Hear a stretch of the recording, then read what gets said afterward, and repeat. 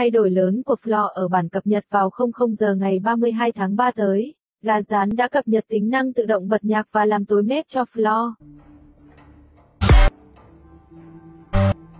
Any lady here that needs saving?